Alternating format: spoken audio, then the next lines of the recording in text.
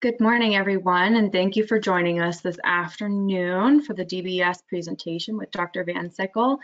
And thank you to Cindy as well, who is from Abbott, who is sponsoring today's presentation. Uh, before we get going, I've got a couple of different housekeeping housekeeping items.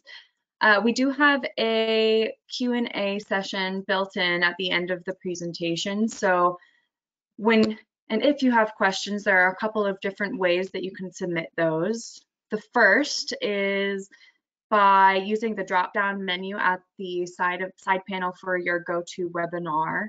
You can drop that, down, type in your question. That'll be sent directly to me, and I will either answer it for for you or we'll pass it along to Dr. VanSickle or Cindy.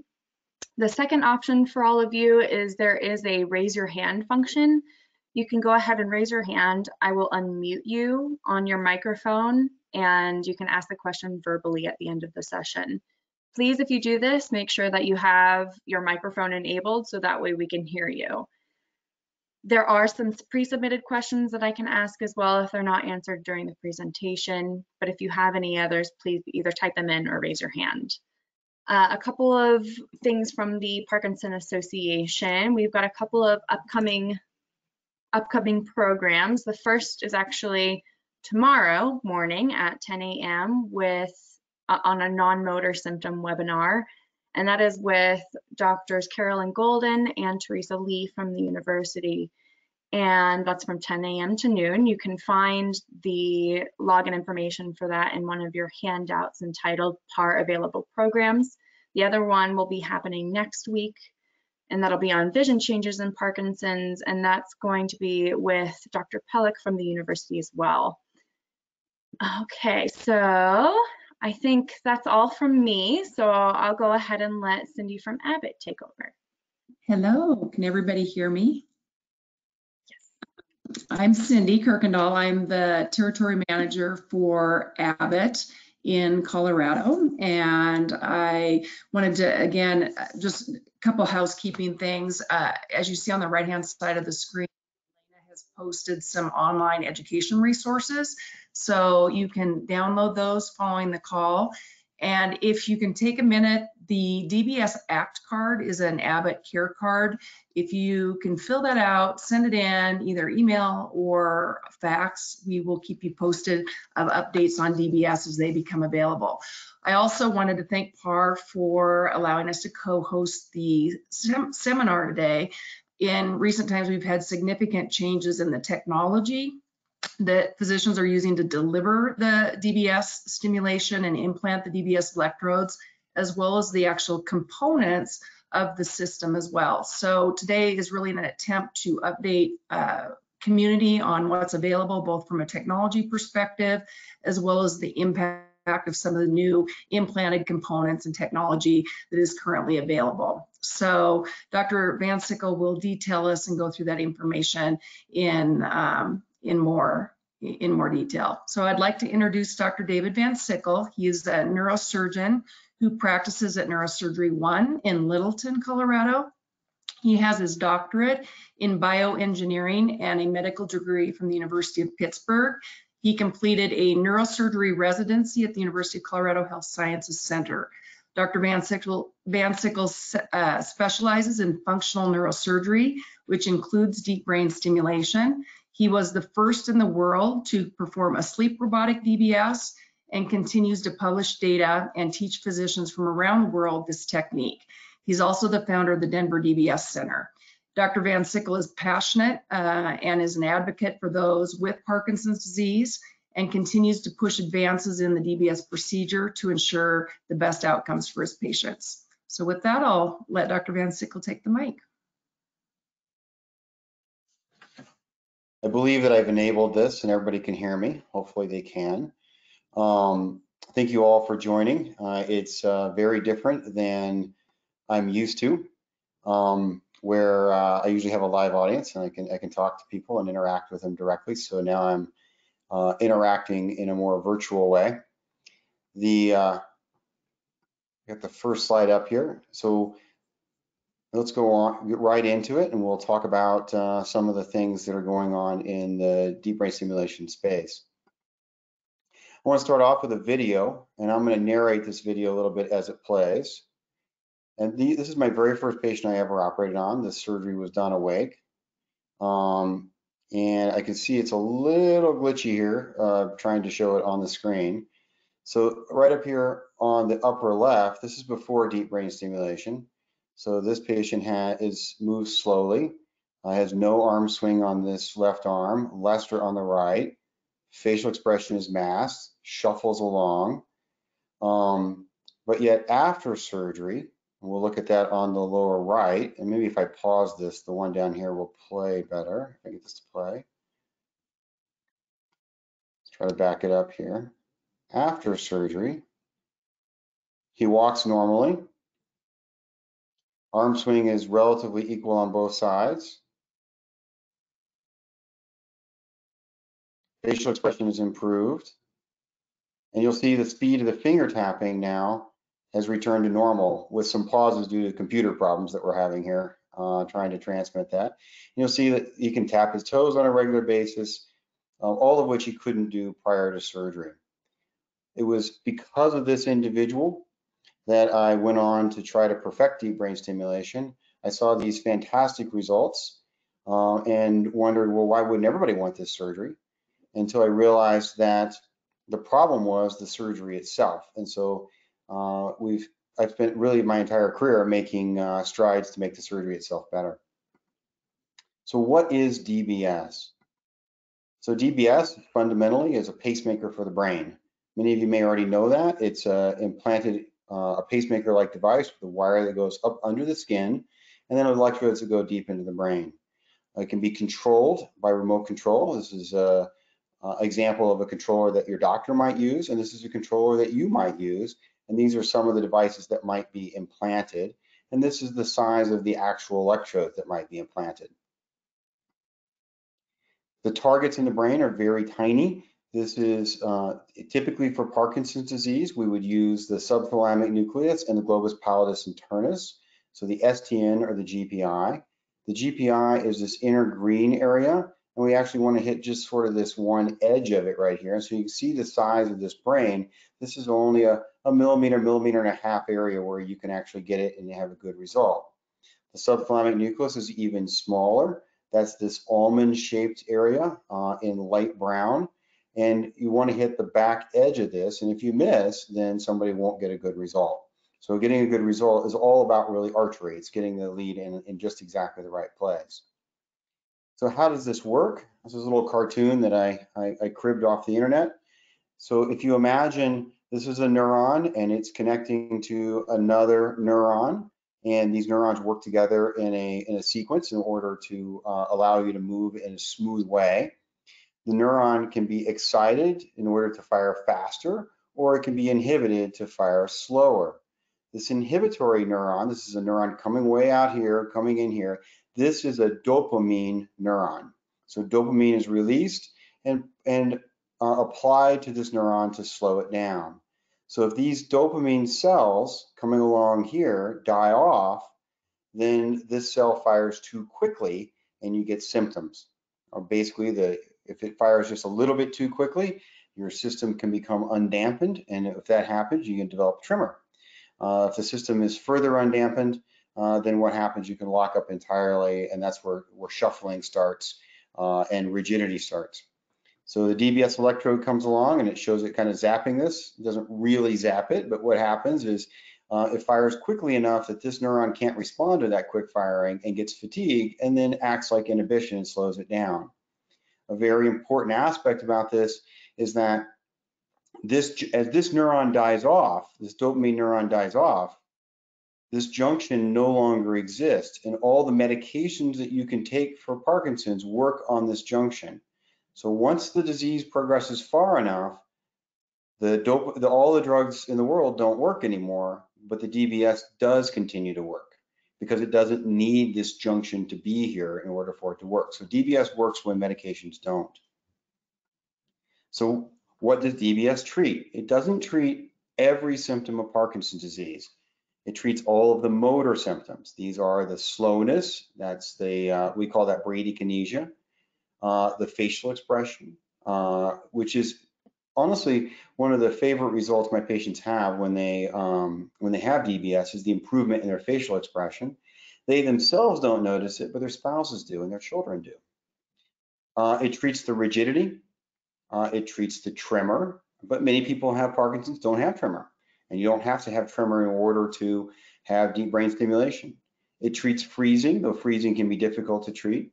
It treats fine and coarse motor skills, such as like doing buttons. Um, what does it not treat? It does not treat postural instability, and it does not treat uh, dementia. Postural instability is balance, so it doesn't treat that. It doesn't treat dementia. On the next slide here. So this little cartoon, another thing I, I, I cribbed off the internet, that shows all the things it treats. It treats the, the masked face. It treats the forward flex stoop posture. It treats the rigidity, especially in the back, which oftentimes causes back pain for a lot of patients with Parkinson's. It treats the, the lack of arm swing and the uh, sort of flexion. It treats the tremor in the hands and the legs, also tremor if you have it elsewhere, maybe the neck. Um, and it treats the shuffling in the gait. So all the things you see here. The things you don't see here, like loss of sense of smell, cognitive changes, um, balance problems, they're not treated by Parkinson's. So it's the things you see here in the picture that are treated. So does DBS work? So with COVID-19 out there or coronavirus, uh, you watch the news and there's a lot of stories about medications. Do they work? Do they not work? We need more studies, etc. DBS has those studies. So the studies we wish we had for drugs for COVID-19, we do have for uh, deep brain stimulation. In fact, there are at least five randomized double-blinded controlled studies for deep brain stimulation, all of which demonstrate that it works. Here's a list of some of the early ones. When I say double-blinded randomized, what I mean is there's two groups of individuals large groups of individuals, say over 100 people in each group. Um, each individual patient that volunteered for the study does not get to choice as to which group they're in. They either get treatment or they don't. Um, so when they don't get treatment, they get the best medicines that are available. When they get treatment, they get the best medicines plus deep brain stimulation. Um, and then they're, when they're compared, the uh, person who does the comparing, doctor, uh, doesn't know whether or not they had the surgery or not. So that makes it blinded. And that's the best quality of evidence we can possibly have in medicine. There are very few things with this many um, high quality studies behind it. For example, if you have a, a appendix and you have appendicitis, there is no such thing as a randomized control study for appendicitis. There's no such thing for a randomized control study for many of the drugs that we take, but there is for um, deep brain stimulation. In fact, there's many such studies for deep brain stimulation uh, showing that it, it clearly does work. It also does something else, and this is a study that was done in England. Um, and over here on the left, this, these are two life curves, and notice it starts at one, that's 100%. Uh, that's at, at year zero, so everybody in the study was alive at year zero. And then if you go out 10 years, people start to pass away. Now these, this is back when we did DBS only on individuals who were very advanced and, and, much older. And so we would expect that the individuals to pass away over time. What we noticed was is that if you didn't have DBS, uh, you passed away much more quickly. And there was a reason for that, and that was increased cardiovascular problems. And significantly, that means that more than chance for random error, there was a number of individuals passed away from aspiration pneumonia or respiratory problems. And the reason for this is the patients who were treated with deep brain stimulation, that's in the red here, they um, were more mobile. They were able to get around more easily because their symptoms were treated.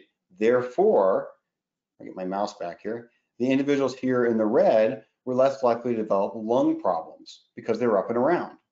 Individuals who had Parkinson's that didn't get treated with DBS, they were less mobile.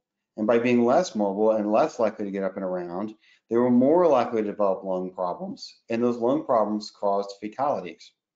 Therefore, at 10 years time after DBS, there were 40% greater chance of being alive if you had DBS than if you didn't have DBS. Imagine if that was a cancer drug. If you had a cancer drug for say breast cancer and you say there's a 40% cure rate at 10 years, a 40% greater chance of survival, um, it'd be malpractice if you didn't prescribe that. So who is a DBS candidate? Uh, that's that's probably the most important thing. So if you remember nothing else that I talk about, um, remember this section. The uh, who's a candidate is is commonly misstated, even by doctors in our community and, and around the country. So if we look at the FDA recommendations, the FDA says you should have the disease for four years. Now, it can be four years after your first symptoms. Now, that's a problem here in Colorado. Our patients here in Colorado are tough. They don't go see doctors very often. Oftentimes, they've had symptoms for many years before they see a doctor at all. So it's not after you've first been diagnosed, but it's after you've had symptoms for four years. Um, as here in Colorado, you might not have had symptoms for three or four years before you ever saw a doctor. And then four months after the motor symptoms are no longer adequately treated with medications. So oftentimes I'll meet somebody who's only been diagnosed for a year or so, but they've had symptoms for many years when I when I talk to them, and, and the medications are not working for them. At that point, they are a candidate for deep brain stimulation. So they they are. Now, what has to happen is deep brain stimulation has to happen before you have balance problems or cognitive problems. Now, if you have a little balance problems or the balance problems are due to, to shuffling, maybe we can go ahead and do it. But once significant cognitive problems um, develop, then we've really reached the end of the window. We can't do this anymore. So notice where deep brain stimulation fits. It fits after the after the symptoms have developed. It fits after the symptoms can no longer be treated perfectly with medications but it's long before advanced Parkinson's occurs, when balance problems start and cognitive problems starts. If you're developing balance problems now and you're thinking pretty clearly, you are nearing the end of the opportunity or the end of the window where we could do deep brain stimulation. In other words, the benefits that we could give you, we can't give you anymore once we get into this area. So to look at that as uh, from a, a different perspective, we look at the stages of Parkinson's, so this is the stages of Parkinson's. It's actually the medical stages of Parkinson's, but from a cartoon basis. And I like this because it describes it. So at stage one, you have mild symptoms, maybe on one side of the body only, and the medications work really, really well. At stage two, both sides of the body are beginning to be affected, eh, typically, and the tremors or rigidity are starting to get a little bit worse. If you have tremors, you may not. Stage three is when balance problems start to begin. You start to develop slower and slower movement. Stage, now we can still do DBS here, um, but we're starting to get to the end of the window. Stage four, ability to walk um, unassisted starts to go away. You start having to use a, um, a walker possibly, and we start developing some cognitive issues. And stage five um, really is a point where we need to maybe use a wheelchair to get around and cognitive problems are really evident.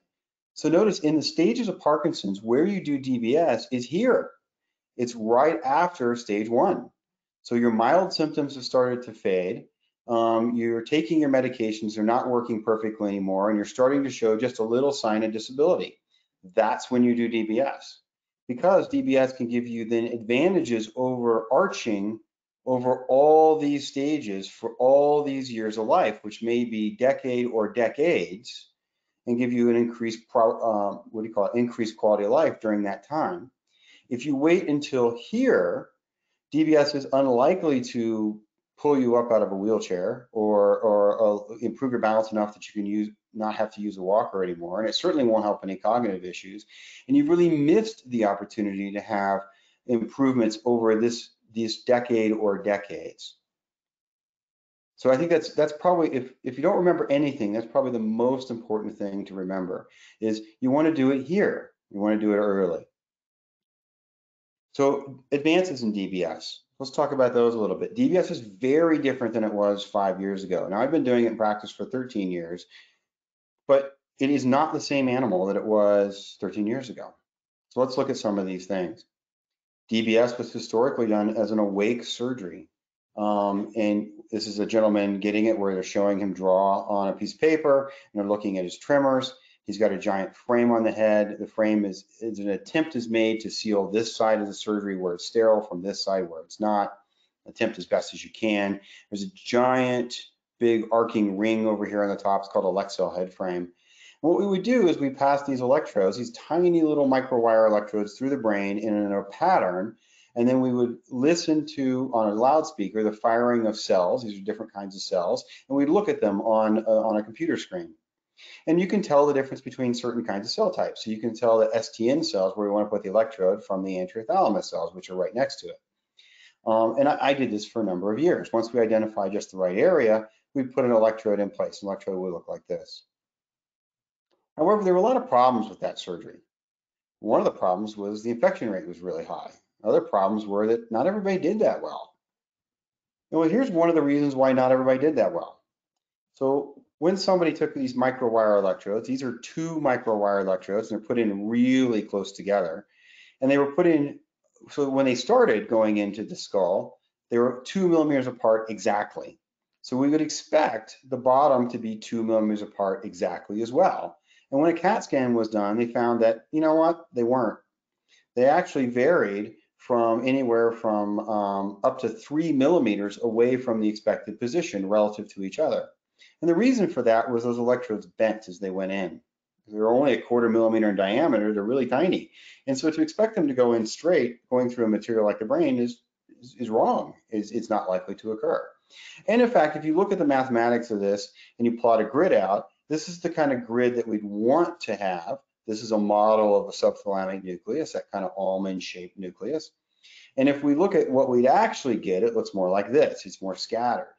And this creates a lot of inaccuracy or imprecision in our surgery. And that was one of the reasons why people weren't doing as well as we'd expect them to do. When this was looked at um, in France, where they, France is where the surgery was invented, uh, and they, they tried to hit a part of the subthalamic nucleus, and they turned out the part they were aiming for was the pink part, and they only hit it roughly 40% of the time. It turned out another part of the STN they weren't aiming for, they hit that some of the time too, and, and that actually worked out pretty well, and those patients did pretty well. But if they hit the red, the black, or the blue parts, or the yellow parts, people didn't do as well. And it turns out if you look at it, uh, about 65% of the time they were in the pink or the green part, but the rest of the time they weren't, which is the explanation for why a third of the patients weren't doing that well when we did it the old way. So remember I said that I, my first patient did very well, and I, I really wondered why more people weren't getting this operation.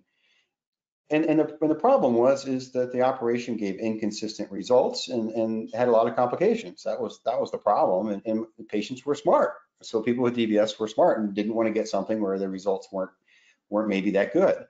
So I started making changes. One of the changes I made was starting to use a little robot. So when we think of a robot, we think of a little man or something like that that uh, moves with arms and legs like a uh, like a human being. Well, that's not really what we have here. Here what we have is a tiny little device that can sit in your hand and it's able to contort the top part relative to the bottom part. And it's got a little arm comes off the back, and you can't really see that that well. And therefore, it can align this arm up to an arbitrary position. And it mounts to the top of the head.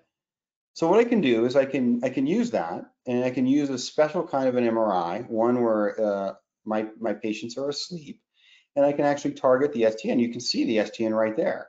So many, many practitioners will say you can't see it. Well, you can actually see it quite clearly. That's that black smudge right there, and that's the target where we want to go to.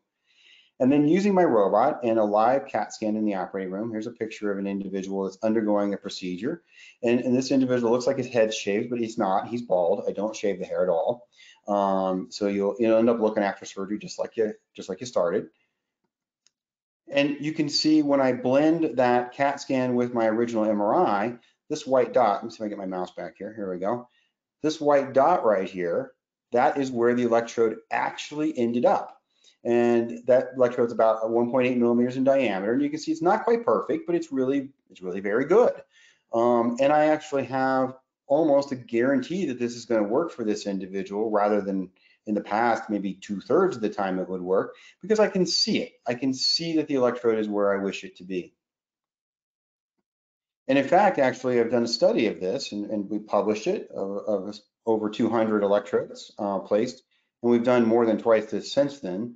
And we, we've averaged out how many times that we had an error. And so this is a picture of actual electrodes. And this is a picture of the actual trajectory for a whole group of electrodes. And you notice that, that they overlap. So we were off on average less than the width of the electrode itself. Um, so if the electrode is 1.27 millimeters in diameter, we were off less than about half or roughly about half that electrode. Now we can make it better than that. There's been another set of advances that have occurred in parallel with this. So and this is what's called steerable current. So all this effort has been made in order to put this electrode in very, very accurately relative to where we wanted to put it, but it's still not exactly perfect. So let's make it exactly perfect. So if you notice this electrode, the electrode I showed before had four contacts, one, two, three, four. This one doesn't have four, this one has eight. Instead, there's one contact at the bottom, there's one contact at the top, but the contacts in the middle have been split up into three sections. And this is on purpose. By having this steerable current, I can turn on one or two or in combination, and I can move the current backwards, forwards, to the left, to the right, and I can actually correct for any tiny uh, little bit that the electrode might be off, thereby getting a near perfect result every time. And that's the goal is consistent outcomes nearly every time. We also had some other benefits of this that we really, quite frankly, weren't shooting for. By doing the operation totally under anesthesia and by doing the operation robotically, we were able to do the operation a lot faster. So this is a publication that came out in 2013 and it compared all of the different ways to do DBS that exist, and at least that were surveyed in this study. And there were literally hundreds of different ways of doing deep brain stimulation out there. It's, it's what, what you'd expect with any kind of newer uh, newer therapy, which was new back then. If you look at all these different ways, this is the time it takes in the operating room in order to do this procedure. Some of them taking more than eight hours you know, the average taking nearly six hours in the operating room. This is us. So the operation goes much, much quicker. And this is the time in the operating room. The actual time to do the surgery is shorter than that. So it takes 140 minutes in the operating room. It takes about an hour and 45 or so in actually to do the case from start to finish. Now you might think is like, well, that's just rushing through it. But actually that has some benefits just by going shorter. It reduces the complication rate. So, and one of the major complications of this surgery is infection.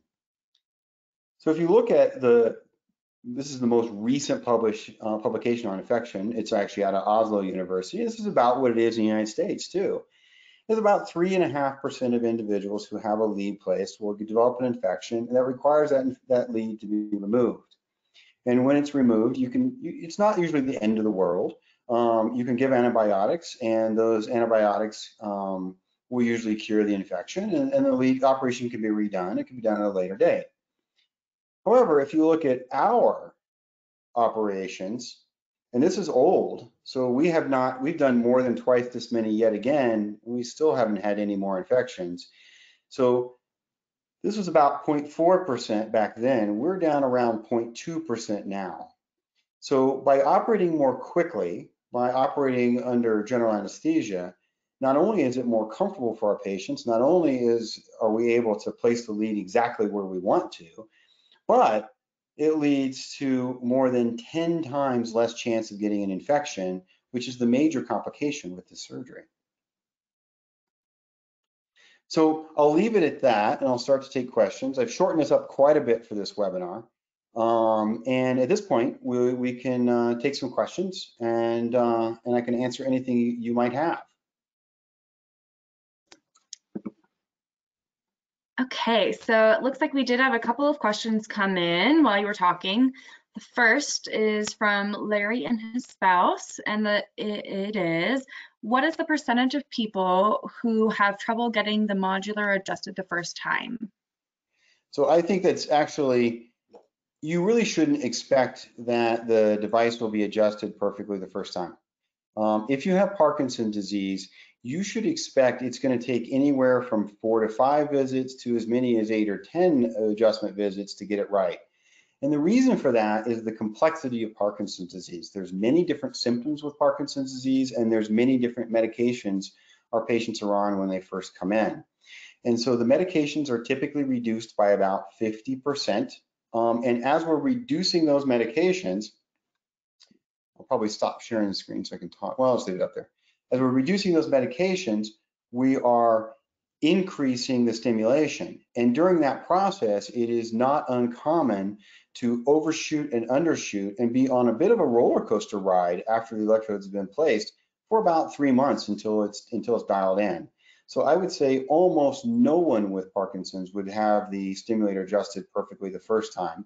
But you should expect after about three months of working quite a bit with your neurologist that it should be working about 95% as well as it's ever going to, you know, after about three months time for most individuals. Awesome. And this is a follow-up question to that one. Uh, Larry has to be off of uh, off of a blood thinner when he's having the surgery. Do you feel the rechargeable battery might be better for him because surgery is more dangerous due to the blood thinner? Maybe. So that's a definite maybe answer. So I would say that the, and this is sponsored by Abbott, but I'm going to give you a, a, a realistic um, answer no matter what. The, there are three different companies which make uh, DBS systems currently. So that's Medtronic, Boston Scientific, and Abbott. And if you look at those, Boston Scientific and Abbott both have steerable current, but Medtronic does not. And, and given that, at the present time, I, I, feel that everybody should either have an Abbott or a Boston Scientific because they'll get better results, um, and or at least more likely to get better results. And, and, when I look at my goal as a doctor, my, my goal is to give you better results. So I would say you, you need to select one of those two. Now, of those two, both of those two are very well made. They both have steerable current. They're both MRI compatible, with the Abbott's being effectively not rechargeable and the Boston Scientifics being rechargeable. They're both very good choices. However, what we're noticing is when you place two Abbott batteries, so it's the two smaller Infinity 5s, one on the left and one on the right, that it's likely to last six to seven years without having a battery recharge. Now, the Boston says that their device lasts 15 years or up to 15 years. Now, I have a significant amount of experience with this because the Abbott, or sorry, the Boston rechargeable device has been on the market now um, for quite some time, but as a spinal cord stimulator for different purpose. And I happen to know that after about somewhere between nine and 11 years, averaging about 10, it needs to be replaced. So it might last up to 15 years in some cases, but in practice, it lasts about 10.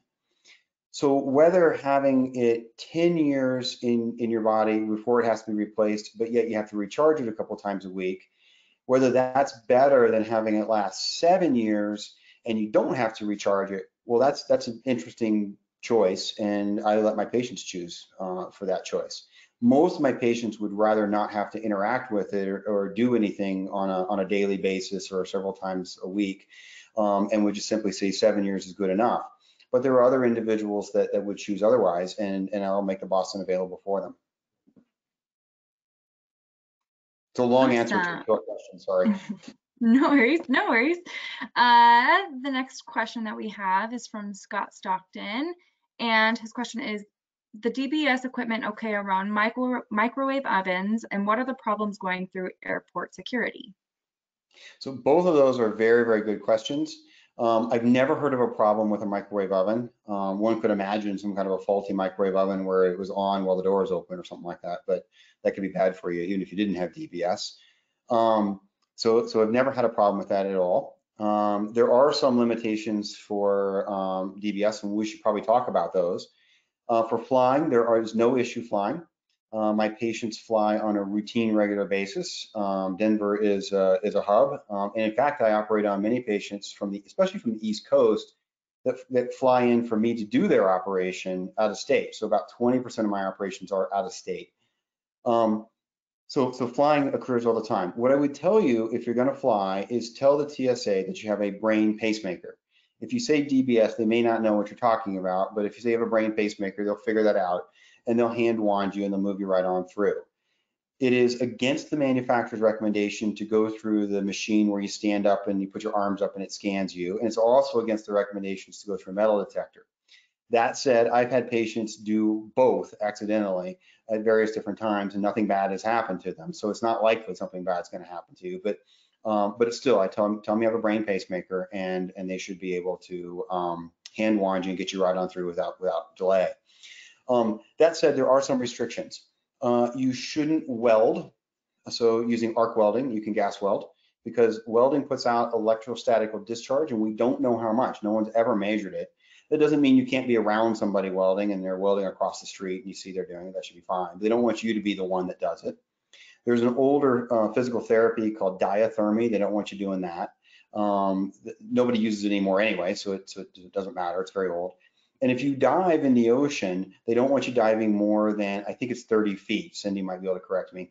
Um, so there's limitation. What they're worried about is the can crushing in the chest. That said, I've had somebody dive to 90 feet and sent me an underwater picture of them doing it, and, and they lived through it fine. But again, don't do that, please. Um, but those are the only real restrictions. You can get an MRI, um, but MRIs have, uh, there's an MRI mode on, on the devices, and you need to set it into those modes. Um, if you need to get an MRI, probably best if you call my office so I can advise the center um, what needs to be done, uh, and we can we can help you out with that. You can get though high quality MRIs with good pictures if if you if you need to. Okay, so our next question is from Larry and his spouse again, and going back to the qualifications. So the psychological test is two to four hours long. What exactly will keep him from having the surgery based on this test? So in my practice, this differs from different practices.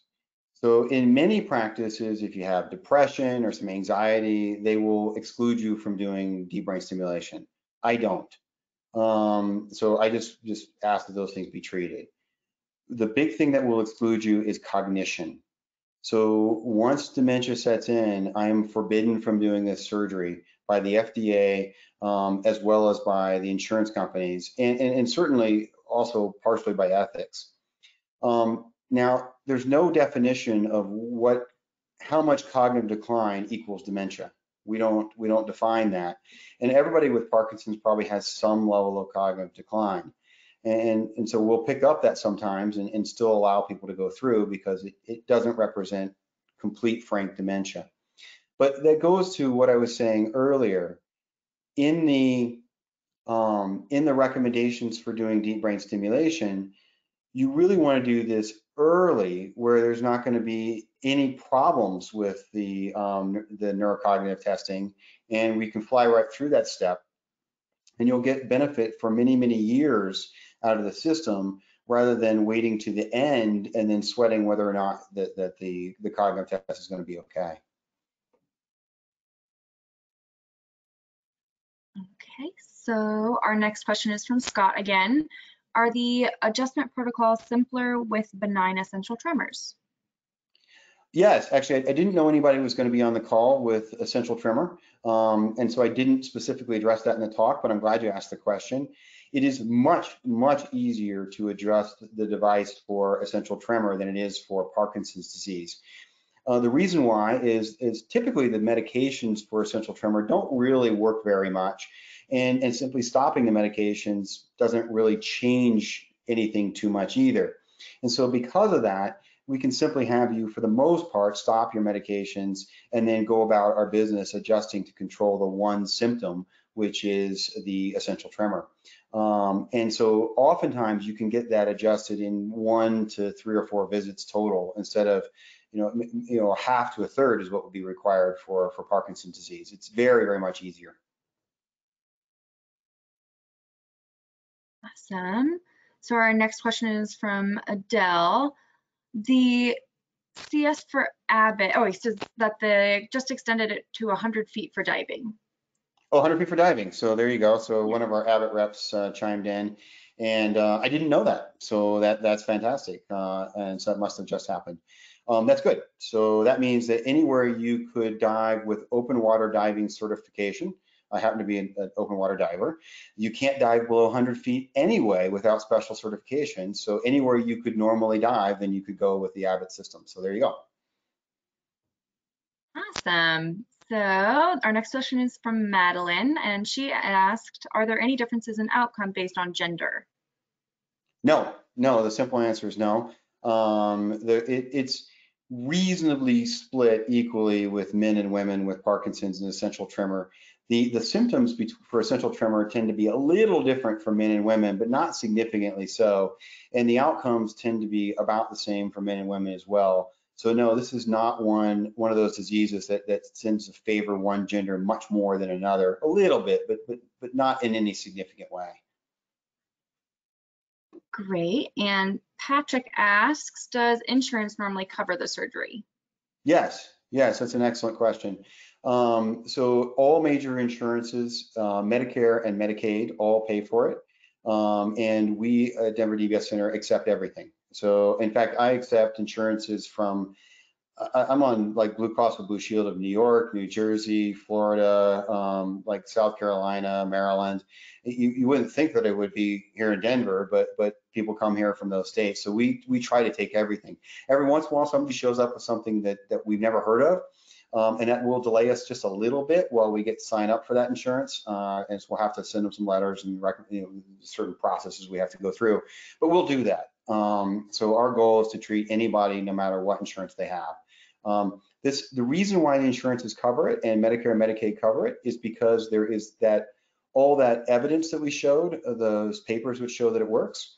Um, it's called tier one evidence. So if there's multiple different tiers of evidence, one is the very best, and anything in tier one is automatically covered by everything. So so that's why we don't have a problem with it. That's awesome. Okay, so ooh, we just got a couple, a bunch more. Uh, so our next question is from Madeline again. How likely, likely will medications be reduced for Parkinson's and which meds are they? Amantadine? Um, amantadine, typically you take amantadine if you have some dyskinesia problems and almost always we eliminate that medication if you have DBS. Sometimes not, but almost always that's eliminated entirely medications should be reduced for Parkinson's by about 50%. So you need about 50% less medications than you had before. Oftentimes your, your neurologist may choose to keep you on Azilect. That's kind of one of the more expensive ones, but there's a tiny little bit of evidence that it might slow down the progression of the disease. Um, and the evidence is not very good, but the risk of Azilect is pretty low. And so, so they, they will often want to keep you on that. Any form of levodopa that you take, um, that could be in the form of Sinemet, oftentimes called carbidopa levodopa, or Rytary, if you happen to take that. Any form of that should be reduced by, by half, um, uh, typically. Now, many patients come in undertreated, so it'll be reduced by less than half because they, were, they weren't taking enough to begin with. And some people come in overtreated and reduce way more than half. And so, so it's, it's an average, but, but half is about right. Okay, so this is a question from Patrick again. Uh, he was diagnosed in December of 2017. Is it too early to consider DBS? He's currently having some good results with Rytary. So um, repeat that again. How long ago was he diagnosed? Uh, on December 27th, 2017. 2017. So it's not necessarily too early to consider it. Um, I have a lot of patients that come see me and you know we sit and we talk and we go through all the evidence and we and, and we say listen it's too early. You know you probably don't need to do it now but you're now on the radar. You also can sit down and have a, a total you know one hour visit with me. Um, we can go through everything in great detail. And oftentimes the result of it is let's talk next year you know and and you know sometimes we talk next year and then the result of that is let's talk the year after um, but you're on the radar. And so when you when you do become a candidate, we can actually act early um, and not not artificially wait uh, when we when we didn't need to. So so I'm never going to operate on somebody too early, but it's never too early to come see me and talk about it.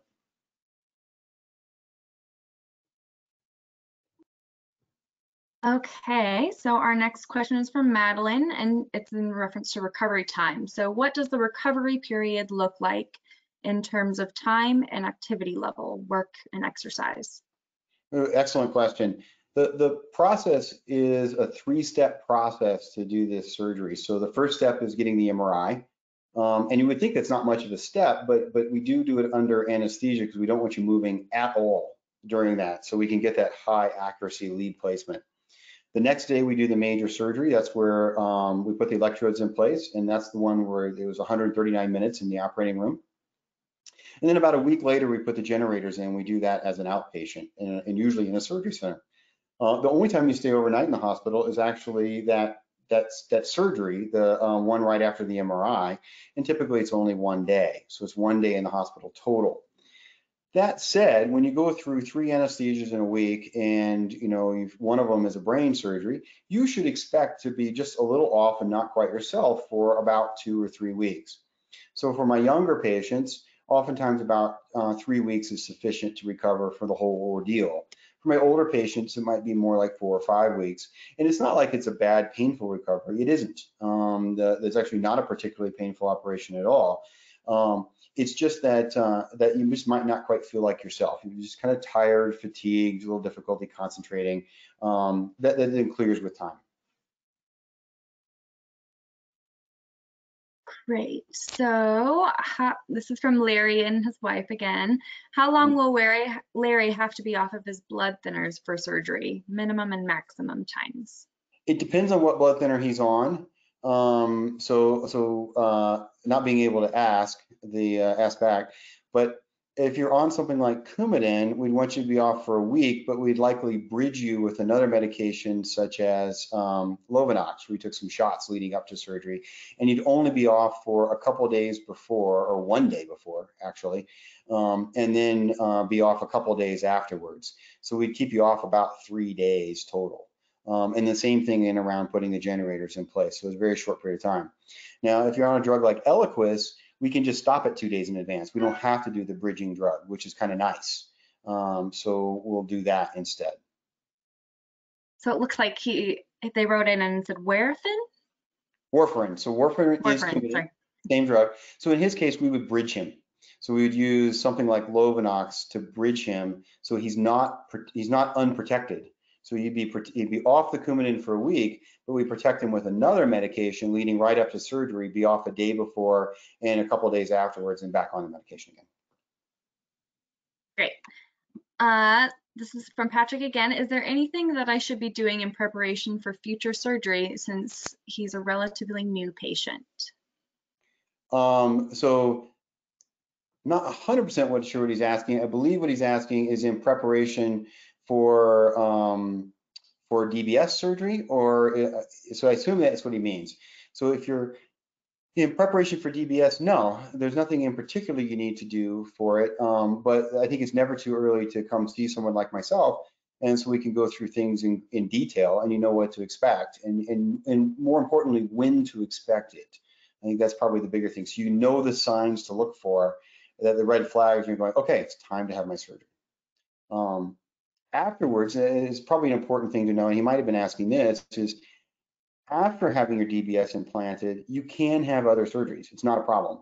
Sometimes your surgeons will um, want to know more details about it and they'll want to give me a call, and that's totally okay. So that, that happens all the time. And but typically there's no restrictions on getting other surgeries. We just have to put your device in a surgery mode so it's protected during that surgery. And that's easy enough to do. Great. Our next question comes from George Forrestall, and he asks if he is on Kaiser Permanente, are you able to perform the surgery? Uh, unfortunately, no. Um, many individuals with Kaiser actually, and it has nothing to do with me. Kaiser is happy enough for me to see you, and oftentimes will allow an exception for me to, to see you as your doctor. But what they won't allow me to do is I can't operate in their hospital, and you have to do everything in their facilities. So that's where the, the sticking point comes in, and that's how they control their cost. Unfortunately, Kaiser doesn't have anybody in our system that does it like we do, where it's asleep with this high precision robotic surgery. Many of my patients, if they're if they're older, over 65, because you can enroll every year, will actually come and see me um, in advance, and you, and you can see me in the office for not much money. It's not an expensive visit um, and make plans to do surgery and actually enroll in a different insurance um, and then do surgery after that. So I've, I've, had that happen about four or five times a year. So I, I can't necessarily advocate that you do that, but it, but it does happen about four or five times a year that somebody comes and goes, I want you to do this surgery and I want you to do it in November. And I'll ask, why in November? Because my open enrollment is in uh, November 1st. I'm like, okay. um, so, so we do that on a, on a, on a regular basis. Okay, so our next question is from Terry, and she asks, does DBS help with dyskinesias? Very much so. Um, in fact, that's actually one of the main reasons somebody might choose to do it. It's not the only main reason, but it's it's one of the main reasons. The reason why is it provides an alternative way to treat your motor symptoms of your Parkinson's with less medications. The dyskinesias are a side effect of your medications. And what usually is a side effect of is too much levodopa, um, either in the form of carbidopa levodopa called Sinemet or in the form of Rytary, or but also some of the dopamine agonists can do it as well. And we can reduce that medication and eliminate the number of medications, like I said, by, by typically well more than half. And then we can treat your symptoms using the DBS, thereby eliminating your dyskinesia. So typically we can eliminate dyskinesia with DBS in the end. Now it can take a couple months to get a program just right for that to happen, uh, but we can almost always completely eliminate your dyskinesia. That's great. Uh, our next question is comes from Patrick. If you, if I understood you correctly, if you are having balance issues, it is too late to have DBS. What if your balance issues are minor? Can you cover the balance problems again? Yes. So if your balance problems are minor, that that tells us we if we're going to ever do DBS in your lifetime, we need to do it now. Um, so on that little scale that I showed you with the cartoons, you're getting towards the end. You're not there, so, and like I said, is is just be, cognitive problems are an absolute no. Balance problems are a caution flag. So we're getting that yellow light coming up at the stoplight. So what it tells me is if you want to do this and benefit from it of your lifetime is we need we need to hustle. Okay. And our next question comes from George. Can you explain where the leads are placed and how large the implanted device is? I can. Um, I could demonstrate for you if you could. Actually, are you seeing me or are you seeing the um, my screen? Actually, Cindy can. I have one too, right here. So let's see if people can see this at all. Yeah. So are you? Are they seeing my screen or are they seeing? Um, can they see they're, that? They're seeing David's screen. hang on a second. I'm gonna I'm gonna stop sharing right. to figure out how. The uh, No, that doesn't do it. I'm going to change the presenter back to you, and that should that should do it. Okay. Here, let me. There you go. And then we'll go. There we go. So now, hopefully, everybody can see. Oh, maybe not. And there's the battery too. You guys see that? There we go. Hopefully. So hopefully, hopefully we can see. So Cindy will hold up. Um, that's the electrode. That's the actual electrode. It's one and a quarter. It's actually 1.27 exactly millimeters in diameter, and that goes down in the brain um, a couple of inches. And that's a Mhm. generator. Is that an Infinity five or seven? This is a five. Five. So that's the smaller ones that I typically use. seven. There's a seven. So I typically use two of the smaller ones, one on each side, because it makes much less of a um, stress on your skin than one of the bigger ones. And, and I do that no matter what manufacturer you use, I'll use two of their smaller ones. That's the typically direction I'll go. Okay, so our next question is Do most DBS surgeons in Denver perform the surgery the same as you, asleep? No, no, um, uh, it's unique to me. So the I actually did not invent this method. Um, I copied it from some gentlemen on the West Coast, um, uh, both in Oregon and in San Francisco area.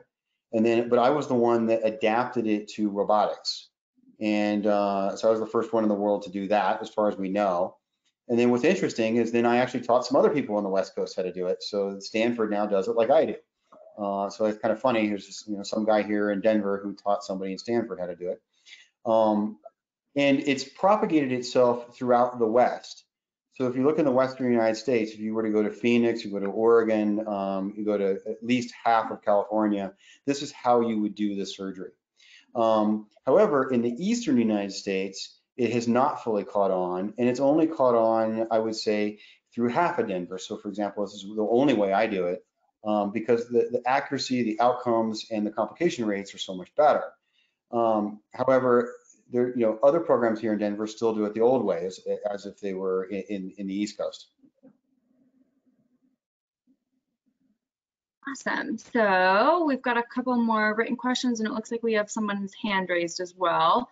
We'll start with the written questions. What are the downside risks of DBS? I think that's excellent. So there's two major ones, and I will talk to everybody in person to make sure they understand these risks before I'll ever do the surgery. Uh, and those are you have a small risk of having a stroke. Uh, what that is is really bleeding inside the brain. So if you have bleeding inside the brain, then um, uh, it's like you have permanent neurologic disability or a stroke, and, and that's horrible if it happens. Now the reality from putting an electrode in, I've never actually had that occur. Um, the other major risk is an infection. And infections was really the Achilles heel of this operation for many years. Um, I think we finally got it under control. Doing a sleep robotic surgery by placing the batteries under the muscle, which I do, which protects the battery better from, from eroding through the skin. Uh, we changed the way we close the incisions. Um, all those things in combination have allowed us to reduce that infection. Well, in fact, our last infection was in 2014. Now, knock on wood, is you know I don't I don't know when the next one is going to be. I hope hopefully not soon. Um, and that, but that risk is there, so you have to know about it. But now that's that's been minimized. Other risks is if you had severe cognitive problems, we would really worry about making your cognitive situation maybe a little bit worse. And so we don't want you to have severe cognitive problems uh, before we do this. Um, and the last one is, is sometimes if you have severe balance issues, we might be able to make that just a little bit worse. So something else we want to watch for. Okay, so let's try doing a live question. Well, so Elaine, we have your hand raised. I'm going to go ahead and unmute you and you can ask your question.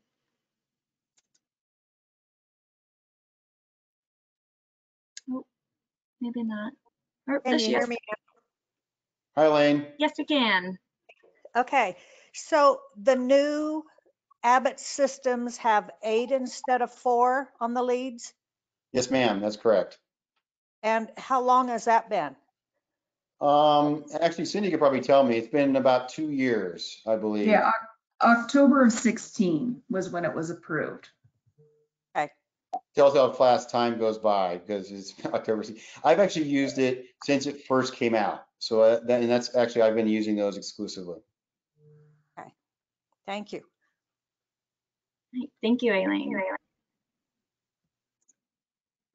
Okay, so we've got a couple more written questions. We'll go ahead and go through these and then just for the sake of time, we'll wrap it up if that's okay.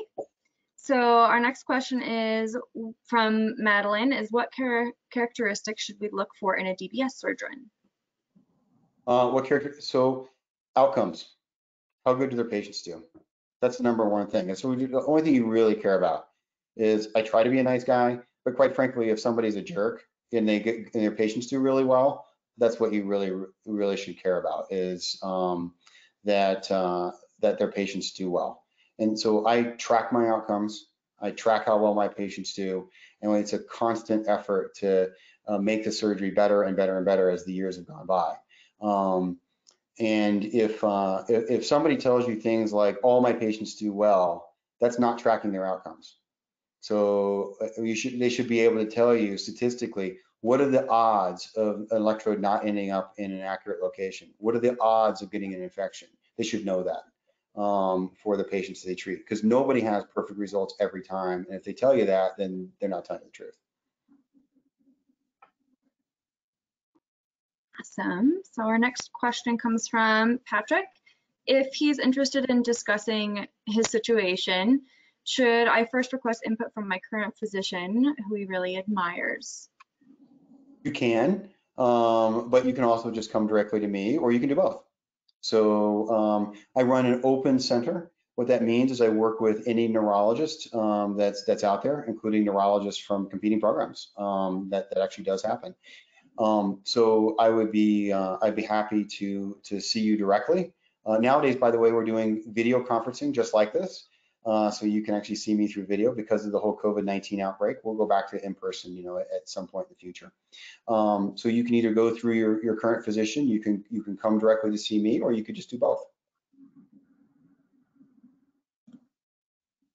Great. And so our last question for today, just so that we're sticking to time, is from William. Can you turn it off when you sleep, your DBS when you sleep, or is there a risk of overstimulation if it's always on? It's An excellent question. I'm going to give you a different answer for different diseases. So for Parkinson's disease, you're better off having chronic stimulation over time. You'll have a better effect if the stimulation runs all day and all night. On the other hand, for essential tremor, about 20% of the population habituates to the uh, stimulation. What that means is they develop like a resistance to it and their tremor will start to come back. But if they turn it off at night, that won't happen. It sort of resets the brain if it was. The problem is you don't know if you're in that 20% or not when you first have the surgery. So we recommend everybody turn it off at night. And maybe that actually saves the battery a little bit, makes the battery last longer too. Um, so for essential tremor, we prefer people turn it off at night. And for Parkinson's disease, we prefer they just leave it on all the time. Okay, so we actually have one more question. Is it all right if we Sure. Far away. squeeze it in? Okay, uh, this one, our last question is from Madeline. What is the difference between STI and G? Why pick one side over the other? An excellent question. And, and honestly, in studies, they've been shown to be relatively equivalent. So if one doctor says, I want to do one, and one doctor says, I want to do another, or maybe a doctor who does both is struggling to try to figure out which one's the best one for you, that's probably okay. Um, we do both. Uh, and typically, I will use the GPI for my older patients. Maybe they have some balance problems already, or having the beginnings of cognitive problems, and the that opportunity is starting to to do DBS is starting to close. Um, and and I do that because it doesn't have that tremendous impact of improvement right away, but it does do it does well. Um, but it also doesn't have um, it, it doesn't make those issues worse if you if you have those issues. On the other hand, for my younger patients, um, you know, patients that are on a lot of medications, I'll typically use the STN because you get a huge bang for your buck. The um, you end up with more rapid improvement, much more rapid reduction in your medications, um, and, and, and a lot of an impact much more quickly if you use the STN. So I'll typically shoot for that uh, for my younger patients, and I will discuss that with everybody individually to try to pick out the best target. It doesn't change how we do the surgery, it just changes where I line it up. Great. So I think that's all the questions we have for right now. But thank you so much to you, Dr. VanSickle, and also Cindy for taking some time out of your Friday and coming to speak with us. All right, thank you all, and everybody stay safe. Thanks. Yes. And if anybody has any questions, please feel free to send them to my email. We'll try to get those answered for you. And then make sure you download all of the handouts off to the off to the side. There's some really good stuff over there. So be sure to download it. All right. And just a reminder on the app card, if you do want to be updated on future events, make sure and fill that out and send it in. Perfect. Awesome. Well, thank you guys again and everybody have a great weekend. Bye-bye. Bye. Bye.